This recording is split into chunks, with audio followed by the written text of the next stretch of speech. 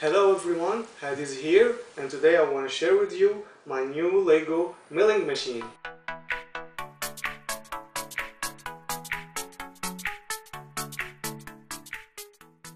In this video I will take you in the process of building, programming and operating this machine. So let's get started.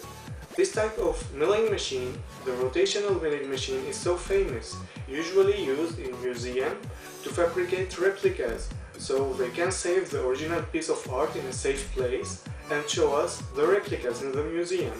And that's exactly what I did. I made a replica of Venus statues which exists in the Louvre Museum in Paris. The process of fabricating a replica go like this. First, we should have a CAD model. We can download it from the internet or build it ourselves. Step 2. We take the CAD model to a CAM program. Basically, the CAM program turns the design to a language understandable by the machine.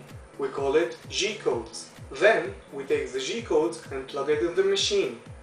As I am the one who designed this machine, I had to make the program which understands G-codes and translate it to motor movements so I can fabricate my replicas. At the end, the result of my work go like this.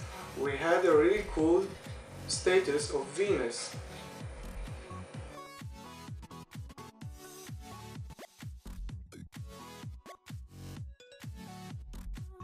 So if you like this robot and you want to build it yourself, or if you just want to have a milling machine to make like cool status like this, you can find in the description the building instruction and the LabVIEW program plus a video which can take you step by step from building the machine to fabricating status like this.